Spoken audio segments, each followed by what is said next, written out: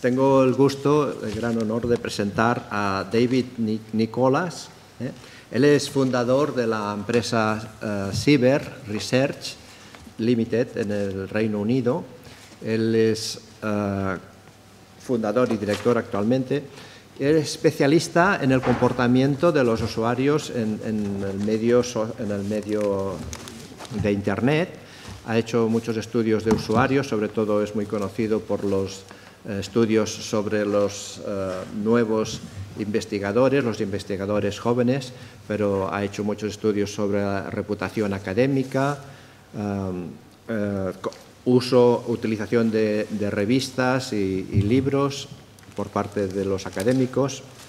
Fue director del, del Departamento de Estudios de Información de la City, uh, de la City University de Londres y también director del Departamento de Estudios de Información del University College of London también.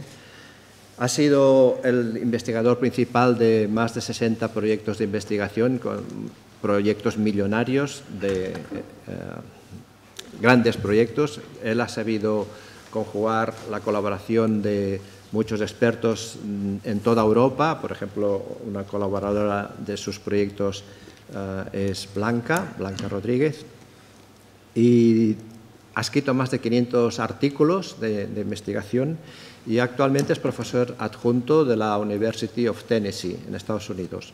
Le paso la palabra, David. Okay, can you hear me? Yes. I'm told I've got to speak slowly. Uh, I'm told I've got to sit down, which is two things I don't do very frequently, so uh, you'll have to bear with me. Um, what I'm going to do is because I'm, I'm conscious that you're not all, uh, or you probably haven't heard an English speaker for three years. This is the first time I've given a live lecture for three years. It's just amazing. In fact, our research is really about that, is what has happened to academe, to early career researchers, and to journals in those three years of devastation and it's not over. so I, I, suppose we're reporting from the front line, and we're reporting from the front line for eight countries around the world Russia, China, Spain, UK, United States to see how all of these countries have fared in regard to COVID. But also, there are projects called harbingers. And I don't know how that translates into to, to Spanish. It could even be a Spanish word, couldn't it?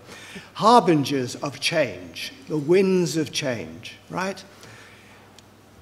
When I started long ago in higher education, there was very little change. Just a change of the head of department, an occasional change, but no fundamental changes. In the last three years, we've not only seen a new generation arrived, the millennials, who are quite different, as I notice with my children, I bet you with your children your grandchildren. These people think differently.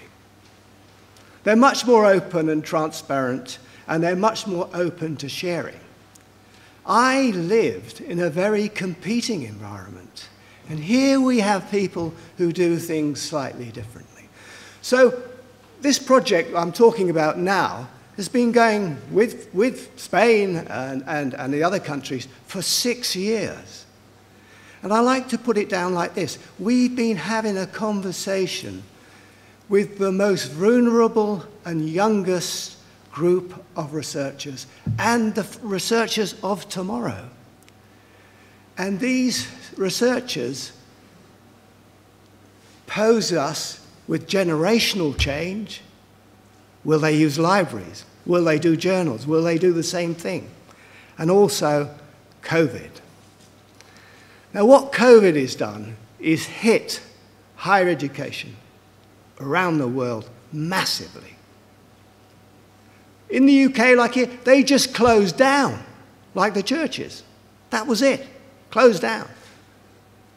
Now, what happens when a higher education system, when young, vulnerable researchers, the first ones who are fired, are hit by that system. In the UK and the USA, we worried about the lost generation, that the, the, the future researchers would not make it because they were peeled off the system. Now, we're still looking. What's the new normal? What is the new normal? We're told the new normal. Now, I noticed, I was reading on the plane coming into Madrid, The Economist magazine. I have a look at it. It's very, very good. They've got a new normal index in which they're showing by graph around the world whether some things are returning to normal and others are not. Okay? Now, that's the background to this. Now, what I'm going to be talking today is about one element of that change. But if you want to see what we're reporting around the world, and Blanca too, then please go to our website. You'll see the PowerPoints for this, this project, plus all of the other work we've done. So, although there's a fair amount of detail here, I'm actually just going to browse through and pick out the main points so that then you can look at these PowerPoints in detail uh, with Google Translate and then work out, you know, what the depth is. And please, please do email me and Blanca if there's no way we can give you eight years of conversation com around the world in 25 minutes. But all I can do is point you to the interesting aspects of our research. And because it's not a survey, it's not a questionnaire, Blanca has been talking to 22, 25 early career researchers, junior researchers, for eight years. And we, we, don't, we don't say, do you do this, do you do that? We just ask them to talk about research, about working from home, you know, how they go about publishing, and all of those kinds of things. And we have built an element to trust with them. Questionnaires don't work anymore. We get too many of them. You just tick, get the 50p, get the $50. It, they don't just are not as effective. But conversations still do. As I saw when I was going around the wet area of um, Leon last night, everybody was drinking, talking, eating. I mean, the whole town was doing it. This is the way to people's hearts. And clearly, this is a powerful methodology. You know. So, anyway, you know, that's the background. And what I'm going to do is just traipse through some of these slides and just point to you the kind of general points that we are coming up with. Right. Okay, so, whoops. I'll get rid of that. With, with the... Okay, yeah. Okay, th that's just a little bit of the background. I think I've given you a background.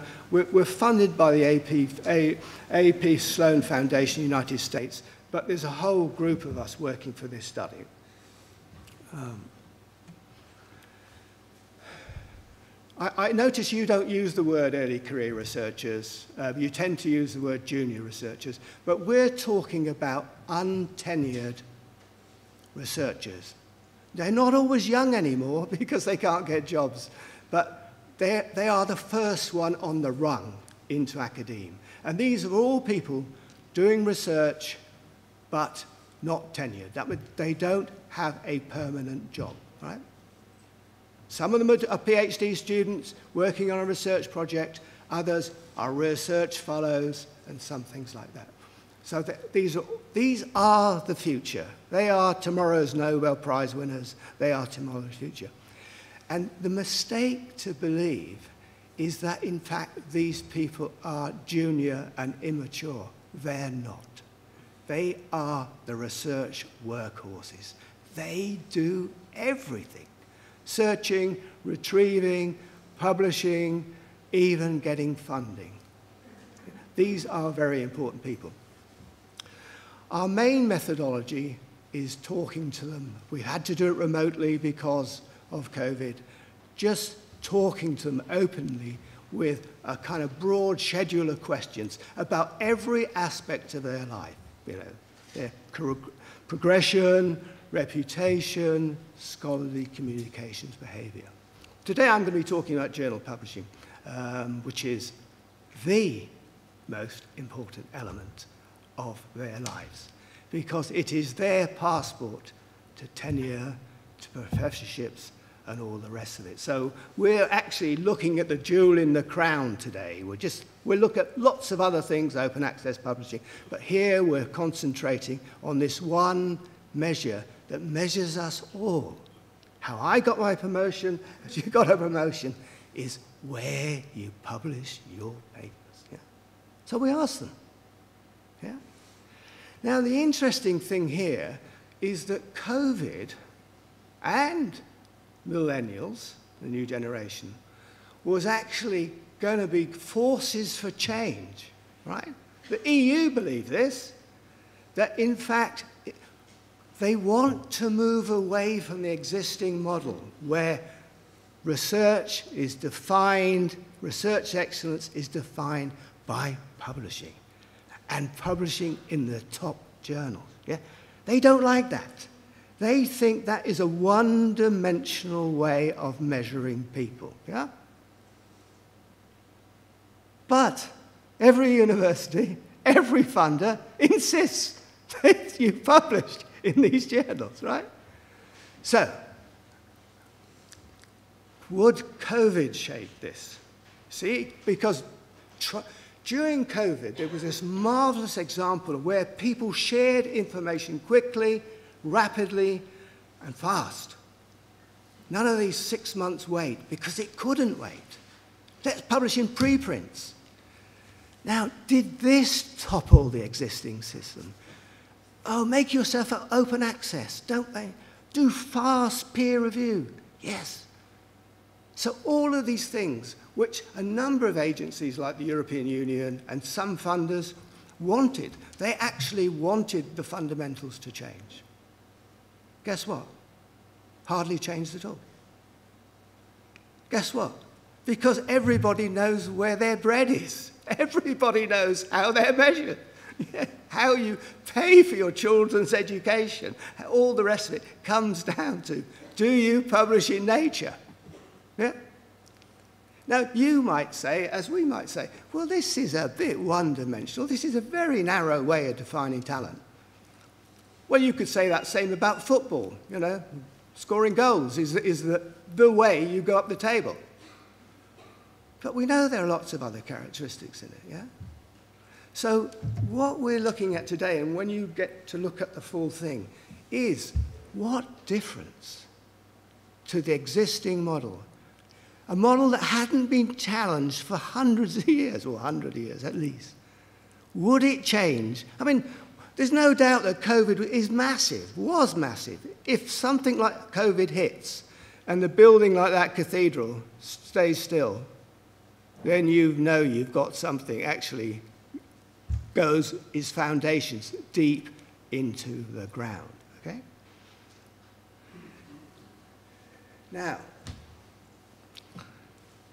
we're looking at di different disciplines, social sciences, sciences. We didn't do the humanities because the uh, funder doesn't do humanities. We looked at different countries. We looked men and women. We looked at young researchers and old researchers. We looked for every variable we could think of. And basically, they all behave the same. The biologist, the sociologist, the man, the woman, the young researcher, the old researcher, they all believe. Because there is one overarching system. Whatever our differences, forces us to do it in this particular way. Yeah?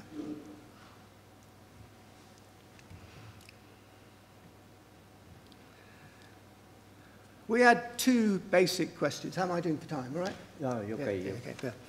Yeah. Um, when choosing a journal to submit, which factors rate most highly, right? In other words, what is the definition of best journal? What's best in, in Spanish? Best, mejor. Okay, that's it. that. You think in terms of Spanish, it might be even different. How does it define? What does good mean? Okay, we all agree, yeah, best. Yeah, good or best, goodest. But what is the definition of that? Well, as you see, there are 17 definitions almost. Ah, so which definition do people agree to? Right. So that was our big question. And the second one is the pandemic likely to change things? Right.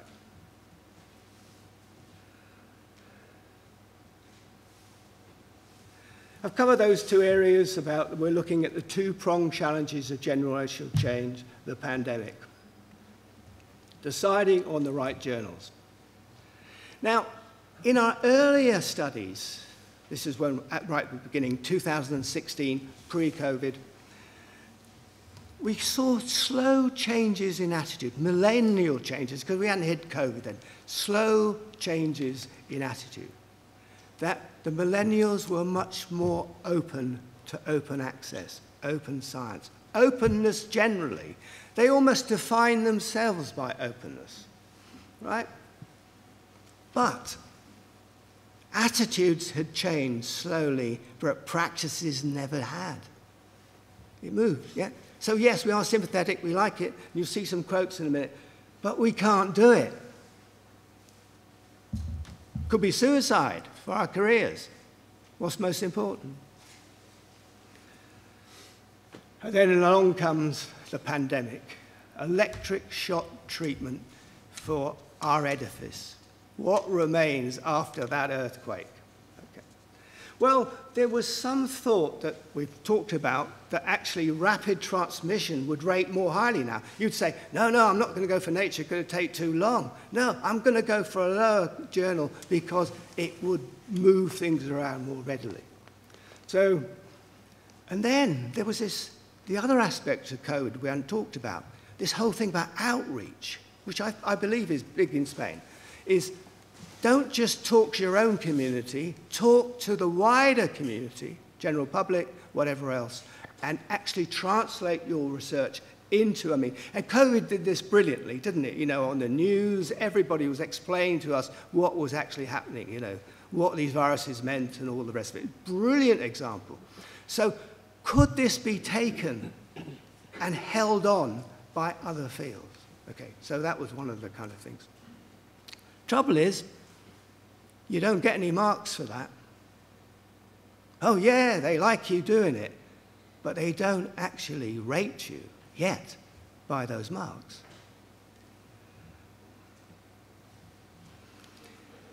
When we, in our first study, which we call Harbingers 1, which is pre COVID, we didn't actually, in a sense, give them any sense to what might be thought to be. So we didn't put words in their mouth. We think best journal means high impact factor. We didn't say that. We just said, what do you think? Right? And look, came up with 17 characteristics, you know, including no charges. Don't charge us any APC charges. We can't afford it, so we can't do that.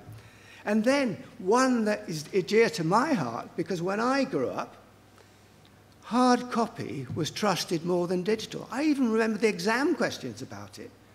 Yeah, you don't trust digital, be changed? Hard copy. And we used to insist that publishers gave us a hard copy of our thing because that was trusted, you know. That was passport. But who asks for that now? Hardly any. Do we trust digital? We made the move, but nobody asked that. So that's not a characteristic of the, the journal to which you're going to submit. And I'm going to come back to indexation, higher IF, prestige, and high peer review. These are closer to our concepts of top best journal. I'm going to just skip this little bit here so I can show you with Harbingers 2. I'm not going to go into detail on this, but uh, just showing you, it gives you a nice window into the different countries. Because don't forget, these, we're doing this over all of these countries.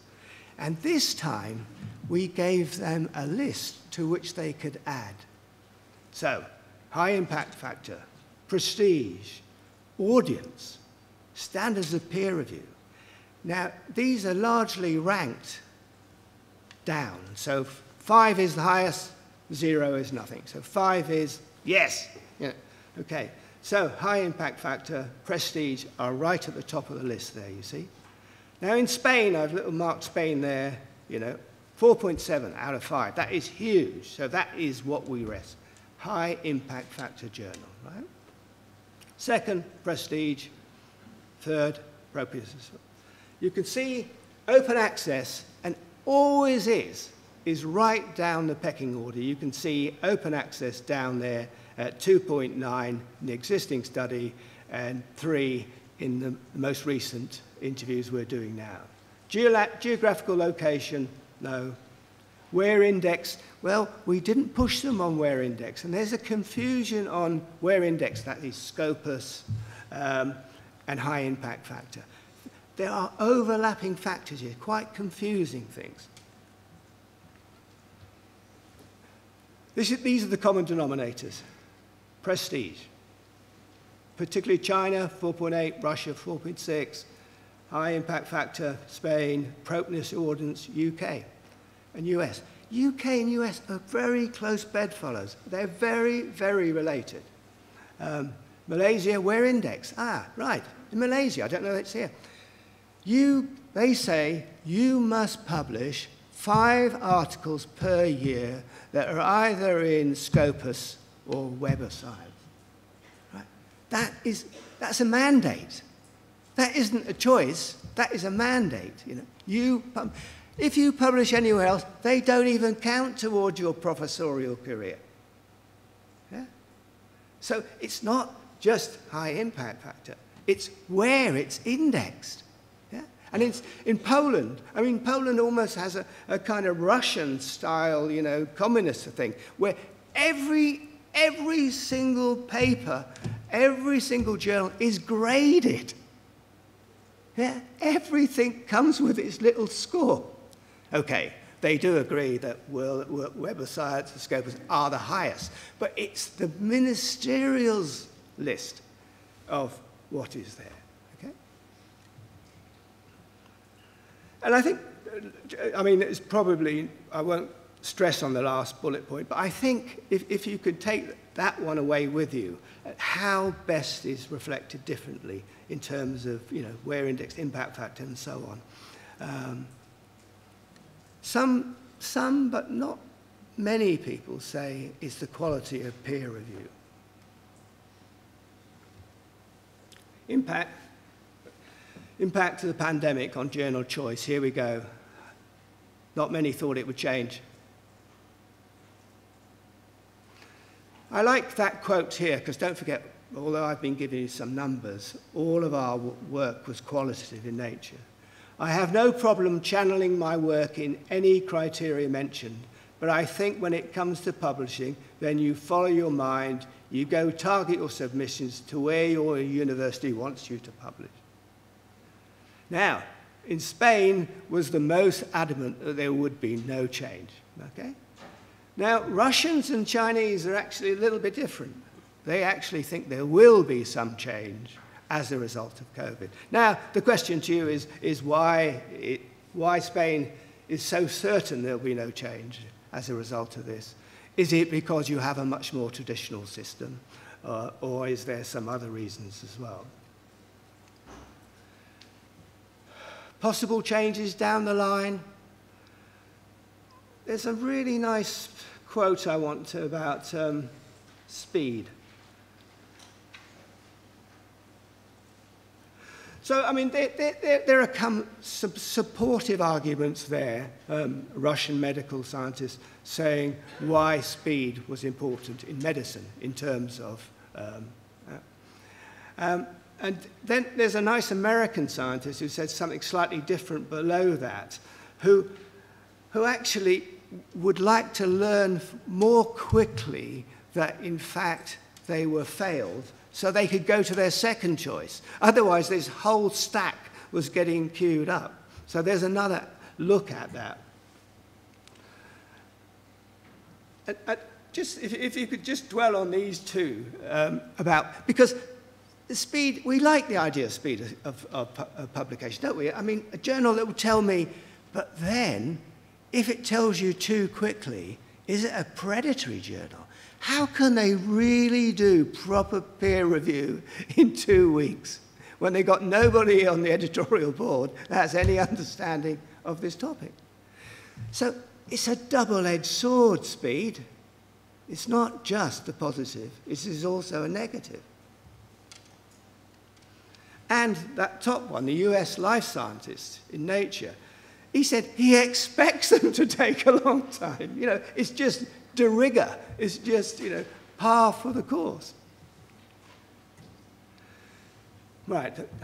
Now, the following ones are just about diversity, and I, I, can skip this if we're running out of time, is that what I said at the beginning, that when we looked at men, we looked at women, when we looked at uh, subjects, that basically speaking, there was very, very little change for the reasons I gave. We're all governed by the same factors.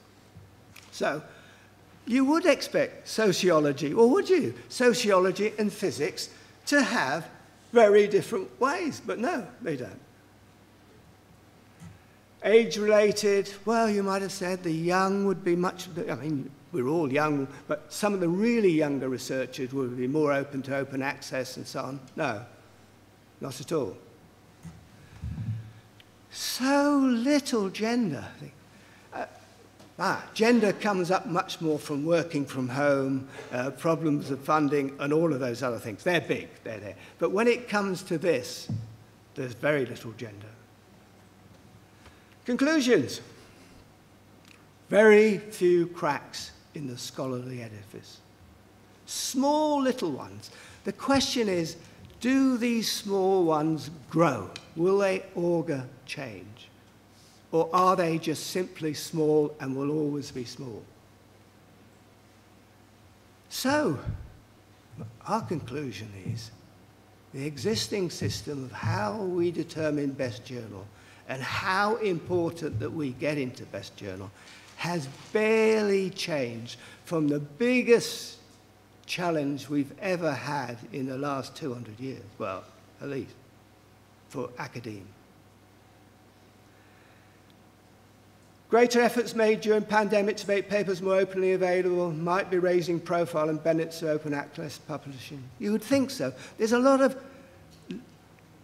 there's sympathy and logic, but doesn't always translate into reality there is a greater interested audience. But when you say to them, yeah, look, you've seen what happened with COVID, why can't you spread your research in more journals, in more things? They say, nobody's trained us how to do this. We've got no time to do this because we're writing in best journals and we don't get any brownie points. Brownie points. What's brownie points?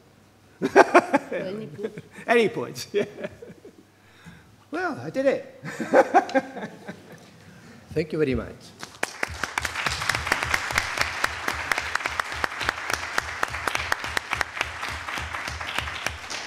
Very interesting that you make a, a, good picture of the situation, and in, in case of Spain, the, you uh, show the impactitis of the country.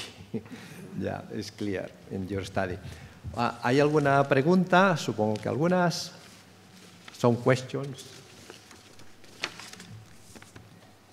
No, uh, I would like to ask uh, if uh, you have seen some difference, I don't know in the study you um, saw this. I think in previous studies you uh, look at the, the ways uh, how um, early researchers carry out search in databases or to look for information.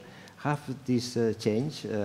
Yeah. Uh, I would like to know also what are the best, the, the first options for people to look for information. Yeah, yeah. That, that's uh, well done, Thomas. That, that was the best question. You got two brownie points. um, we hear, we, I mean, this is, we are seeing some earthquakes here. Um, which could, uh, we're, we're, I mean, we were talking in a bar last night or whenever we were talking at lunchtime about this. There, there could be fundamental changes here. So far, when we ask people about searching and finding for information, they, they actually don't, don't even think of where they go, you know, because it's kind of like wallpaper. It's kind of, you know, it's just like a basic utility. So sometimes they don't even know that the journals that they're searching at home are actually provided by the library. Yeah? They just, it's just here. It's a, it's a utility. Switch it on, it's like lights. We, we do that. So it's difficult asking these kinds of questions, right? But we thought, what happens when the libraries physically close down, which is a COVID thing? Yeah? And they did. They closed down, they reduced their services, they went remote, and some of them didn't even have good remote platforms, right? So we thought, hang on, here's a danger. The library could just disappear into the ether because there's no substance to it. You don't even know, you, were, you didn't know you were. Early career researchers do not go into libraries physically, yeah? Full stop. They don't. They, they, but they use them although they don't know they're using them, they're using the journals, right? They're, early career researchers are the researchers that do all the searching, right? As you would expect. Professors delegate that, that role to them. So they know what they're talking about. Okay, so that's been true. And recently we've been seeing a kind of opening up, even in the digital void, between library services and other services. We're going to have a paper coming out soon called The Shadow Library. Do you know Sci-Hub? Do you know Sci-Hub, the pirate platform which steals all the, the data from all the publishers' platforms? Do, you know, do they yeah, know? Yeah, yeah they know. They know, they know. Sci-Hub use has gone through the roof. Yeah. Nobody thinks it's a bad thing. In fact, and I love the French, the French even think it's a moral duty, they're revolutionary, of course, um, to actually do something that would disabuse the publishers. But of course, what they're searching is stuff nicked from the publishers, stolen from the publishers. So it's a bit of a naive, I'm not saying they're, you know, but they like the concept. So they would rather use Sci-Hub, yes, um, than not. So you've got people that could use the library are choosing on philosophical, millennial grounds not to choose it. Now, I find that difficult to think about because, you know, that, that's not my line. And, sorry, and the second bit about it is, so they've moved to Sci-Hub. At one time, everybody, you know, thought, well, yeah, but it's a hell of a, a fuss searching through it, and it's much easier to go to the library. Everybody knows what a DOI is now. If you've got a DOI, it takes about three seconds to find what you want. Yeah? That's faster, I'm sure, than some of those library platforms. So it is fast if you know, if you've got the DOI. And everything seems to have a DOI. So certainly there's been a shift here. Now this is, this is, this is going on as we speak. Also, ResearchGate has come in and is beginning to soak up some of the searching. Because if you remember that it's a reputational searching, uploading platform, it's encyclopedic, it offers those things. So we now have two platforms, uh, um, Sci-Hub and ResearchGate, which are seeming to drag away from the library platforms. Now, you could say you know, that's a result of COVID, working from home. But in a sense, they never went in the library anyway. We're only halfway through our study. We'll know more then. But there certainly is a bigger earthquake here than in, than in what we were talking about before. Okay. Okay. Thank you. ¿Alguna pregunta? Pues lo, lo dejamos aquí. Pues nada, muchas gracias, David. Okay, thank you very much.